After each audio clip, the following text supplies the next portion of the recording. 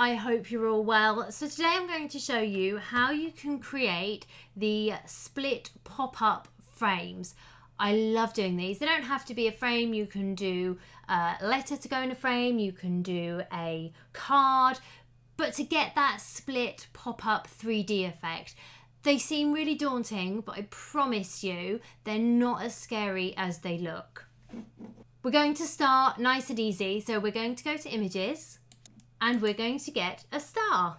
So you will find it easier to work with outlines. So something that has already got an outline or something with a possible outline you can create will make your life so much easier creating these. So this one here is absolutely perfect. You could do it with one like that. You could even do it with one like that. We're going to get this one as well. And we're going to use this one. So let's insert the images to our canvas. So we're going to work with this one first. And as I say, working with something that already has an outline or you can create an outline makes your life so much easier with these. So this is really simple with the stars. So I'm just going to go to shapes and I'm going to get a square and we're going to create matchsticks if you like so that we can slice into our star. So that when we cut it out on cardstock it's not just going to fall away and be a complete cutout. The point of these pop-ups is that you keep them intact in your cardstock so that you can create a 3D effect when you're making your slices, you want to make sure you're not making them really small in width because you are going to be changing the sizes of these depending on what you're creating. So sometimes you may want it to be big, sometimes you may want it to be small. And if you do it at this size and you then reduce it right down, our star or whatever it is we're doing will get closer and closer. So if you haven't created a wide enough slice, as you reduce your star down, you are actually going to end up putting it back together. So I'm going to make the width of mine 0.2. 0.2, 0.3 works really well in inches and of course if you want to change to centimeters you can. You just come up to our three lines, go to settings and you can change from imperial which is inches to metric which is centimeters and vice versa. So I'm going to duplicate this. So I've got five of them. And then I'm going to come and I'm going to place them first. So I want them to go on each of these joins. You may find you need to play around, you may need to rotate them, but just come and get them so that each of those joins is going to have a slice going through. I'm then going to hide my star. So I'm not moving it, I'm hiding it. So if I go to my layers panel and I click on the eye, it hides it, but it doesn't change the position. So if I'm doing something like this where I want everything to keep in their position, I've placed them, rather than moving them, if I hide them, when I bring them back, they're still in the exact same position. Now you can only slice two things at a time. So rather than slicing these individually, all I'm going to do is highlight and I'm going to weld them together so that they go from five layers to one layer. So rather than five individual cuts, Design Space now sees this as one cut. Even though we're cutting five times, because we've welded, we're only cutting once. So if I bring my star back, I can then highlight my slice option becomes available and I can slice. If I then remove those slices out the way and delete them, I've now created my 3D pop-up star. As simple and easy as that. So if we play with this one, the first thing I want to do is just change the colour because it's quite hard sometimes to see in black. And I'm going to get my shapes again and a square. I'm going to unlock it and I'm going to make again the width 0.2 and I'll keep playing with the height. I want it to be quite small in height. And then I'm going to put the lock back on. So I actually need 10 of these. So I'm just going to keep duplicating. So exactly the same as before, I'm going to come in and place them. Now you want to make sure, because we've got inners going on here, that we are not actually slicing into the other star. So if you are going to create these uh, kind of bridges, if you like, or gaps, you want to make sure that you're only slicing the area you want to. So make sure you don't overlap into another area. Now I'm doing these all at the same time. In fact, I'm going to struggle with that one. So let's do them a star at a time. So this is where I want it for the outer. So all I'm going to do is hide that star in my layers panel. I'm going to highlight and weld these together so they become one layer. I can bring my star back. I can draw around and slice. I can then delete those sliced out areas. So now I'm going to come and place these ones. Now, if your slice areas, your gaps or your bridges, I don't know what we call them, if they overlap, it's not an issue. But what we don't want is overlapping into other areas of our image. Again, I can hide my star. I can weld this together. Bring my star back highlight and slice. And there we go. How pretty does that look? So again, we're going to get that lovely 3D pop-up effect with this one. And then exactly the same for this one. We're going to get a shape, a square, unlock it, change the width to 0.2 and again, I can come in and start placing them.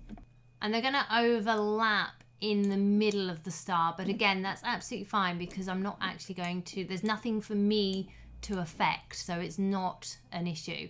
Obviously, if my star had a middle piece, I wouldn't be doing it like this. I can hide my star, highlight, weld, bring my star back and slice. So nice and easy to do stars, not taxing at all, and they look really pretty. This one, this purple one, I'm very excited to see how that looks. So next we're going to do some butterflies. So if we go to images and we search for butterfly, the easiest way to do this is to choose images which again have an outline or you can create an outline. When I say an outline, I mean an outline or a border. So this one will work really well, as will this one. And this one. We can use that one. There's a lot in Design Space you can use actually. Even one like that we can do. And this one here, we'll just get a few more and then that will be plenty. So this one, if you look at the layers panel, you'll see, and you can see just by looking at it, we've got a complete border going all the way round. And that's going to make life so much easier. So if I ungroup my butterfly first, and I'm going to hide that back layer, and I'm just going to weld these together. I then have two layers. So if I bring that back layer back, I can then highlight and slice. And you'll see we then end up with that outline. However, if we were to cut it like this, it would still cut as a solid shape. So I'm going to go into my shapes and I'm going to get a circle. I'm going to unlock my circle and I'm going to make the shape of the body of a butterfly. And I'm going to do it there because I want to keep those antenna. So I'm just going to highlight and slice. And I can then delete the sliced areas. I'm going to go to shapes and I'm just going to get a square. And I'm going to rotate my square slightly and then make it smaller. I'm going to place it over my antenna bit and I'm going to highlight and slice. So if I want my circles, but I don't want them to completely cut out, I can get my shapes and let's get a square. And again, I can create my matchstick. I can't think of what else I would call this. I'm going to duplicate it and I'm going to come in and I'm just going to create a line going through those circles there. If I hide my butterfly, I can just weld those two together, bring my butterfly back, highlight and slice. I also want to create a little head as well. So again, shapes and circle. I'm going to duplicate that circle and just change the color so we can see it better. Make it a little bit smaller. I'm going to highlight, align and center and then slice. So I create a cutout circle. I can bring this over to my antenna and then I can highlight and weld. Now if I cut that out as it is, I'm going to lose the head. The antenna obviously going to be cut out anyway, but let's say I want the head to kind of be whole if you like. So if again I go and get a square and I create another matchstick.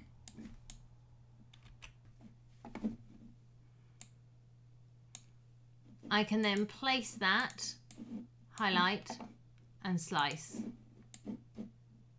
So that's my first butterfly.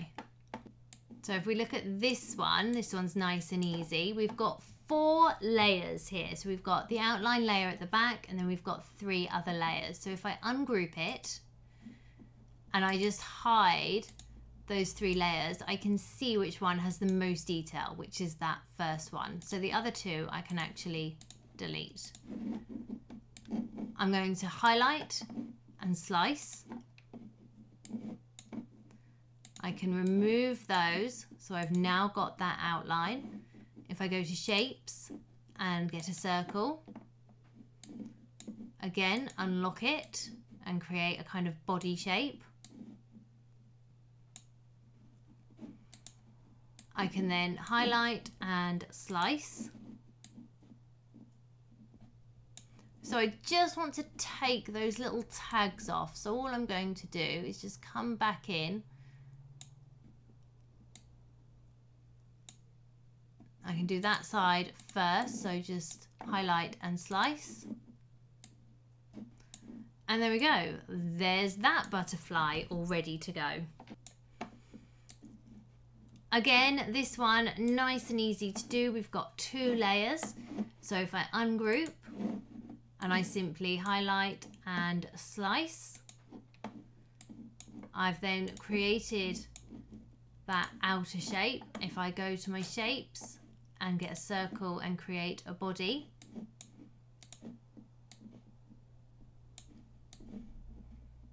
I'm then preventing it from being completely cut out. So there we go. There's that butterfly. Once you start to understand, it, it becomes a lot easier. So really you're just working with two layers. So this one's got lots of layers. So again, if I ungroup it, and when we ungroup it, it'll always come to the top. You'll see there's actually another layer there which is hidden. And that's my shadow layer. So if I look at each of these layers and I can hide them to see which one's got the most detail, and it is that black layer. So if I get rid of all of these because I don't need them, exactly the same, highlight and slice. I can get rid of those and then I can literally just come in. I could do a straight line if I wanted to. And in fact, let's do a straight line. I can unlock that. I can change my width.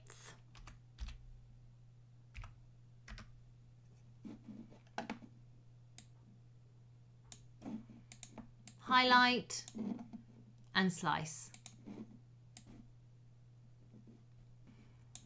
And there we go. So next we're going to create some flowers and there's really two ways to create the flowers. There's either to use an image like this one or to use the other method which I'm going to show in a minute. So this again is using outlines. You'll see we've got a lot of layers here. So if we ungroup it and we hide that yellow layer, we don't need the black layer at all, so we can just delete that.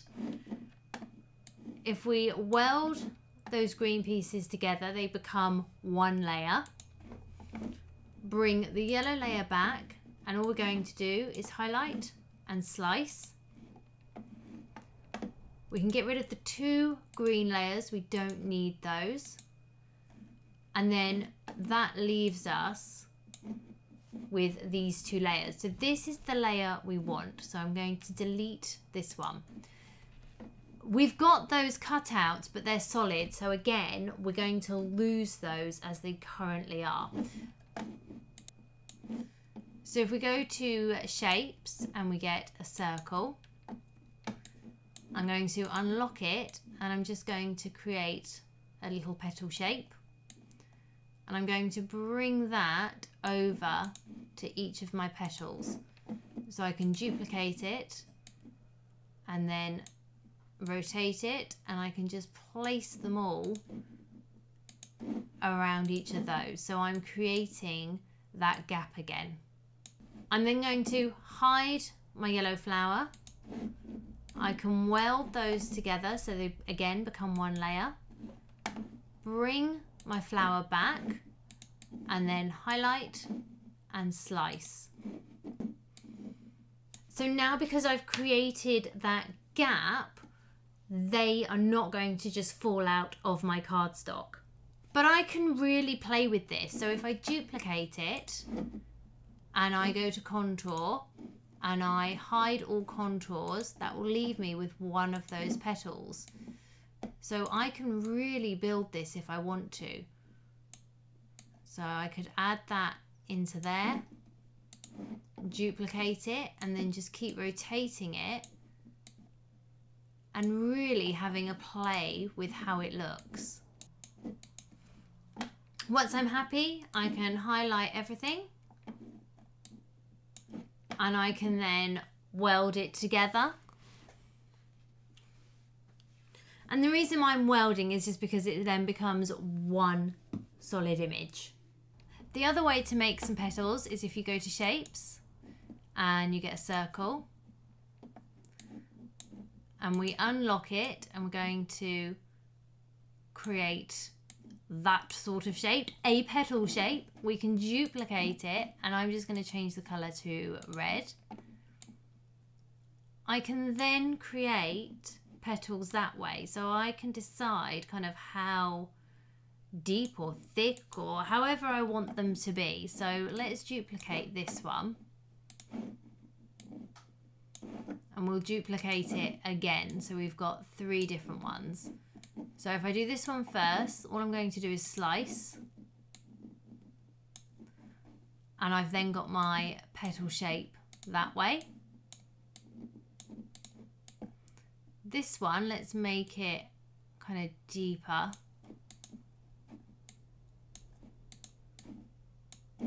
So slice.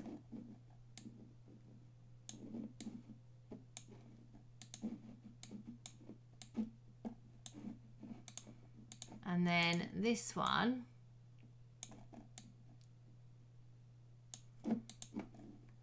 Let's do that way.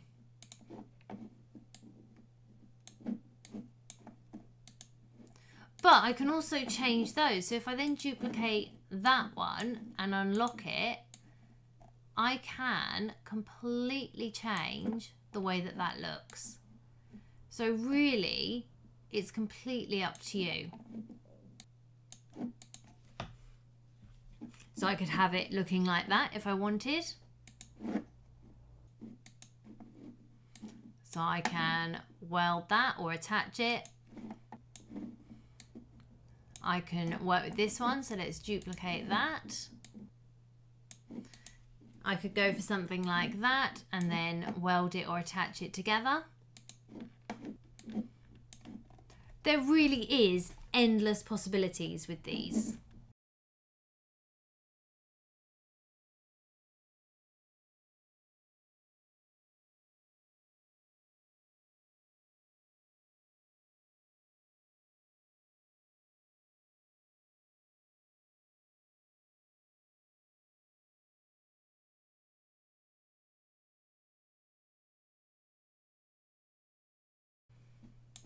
I'm going to ungroup and I don't want the rose. And the horn I'm just going to amend slightly. So I'm just going to use my contour just to take out those bits there. And I'm going to duplicate because I want the ears. So I'm going to contour out the horn on this one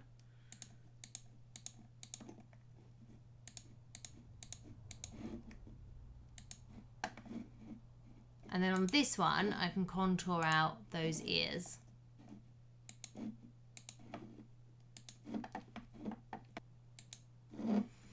Now, because of the way the ears are, it's going to cut out these, but I'm going to end up with this kind of flap here. So I am going to end up with 3D ears, which is really cool. And I can then start placing my butterflies and flowers and all of those wherever I want them. And you can add flat images into it as well if you want to.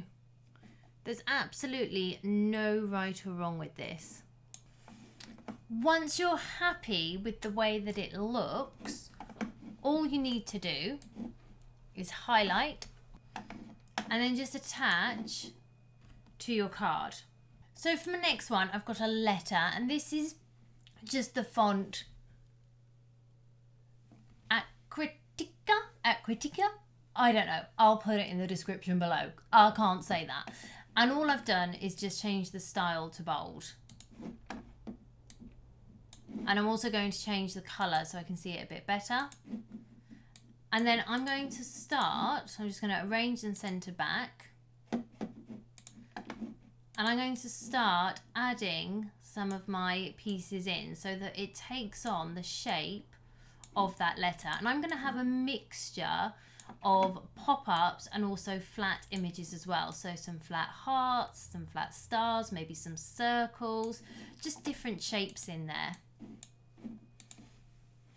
So once you've filled your letter up as much as you can, you've got two choices. You can either attach everything to your letter or you can remove your letter and attach everything that way. It's completely up to you. So I've got a stencil font here, which is quite literally called Stencil. And I will be showing you on another video. In fact, I can show you quickly on here. So if I want a text like this, so let's do the name. Okay, so I don't want to lose the inner of my O or my A. So nice and easy and simple to do. If we go to shapes and we get a square. And exactly as we've been doing, we're going to create a sort of matchstick. And again, you do want it to be a reasonable width because obviously if you're going to be playing with the size of your text, you're going to have to take into account that if you start reducing your text down, your space is going to reduce as well. So with the O, I quite like the idea of having it sort of in the middle there. We can get another one and create it for the A.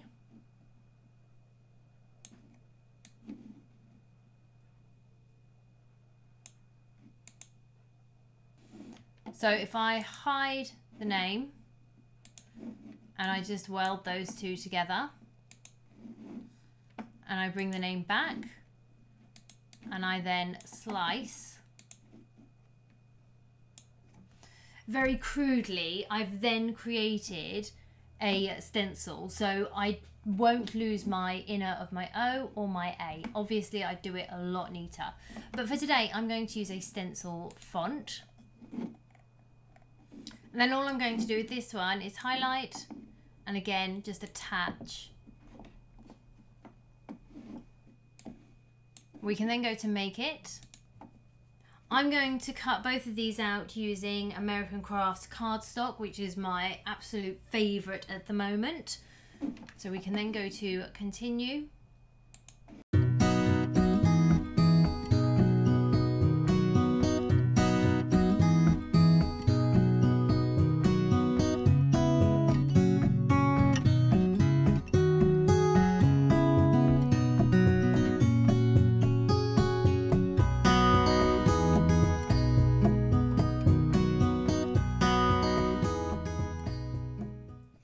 So how amazing do these look? They look absolutely brilliant. It seems like it's a lot, but once you understand what you're doing, it does become really easy, I promise. Anyone's got any questions or queries, please do put them in the comments below, and I'll see you all again very soon. Bye!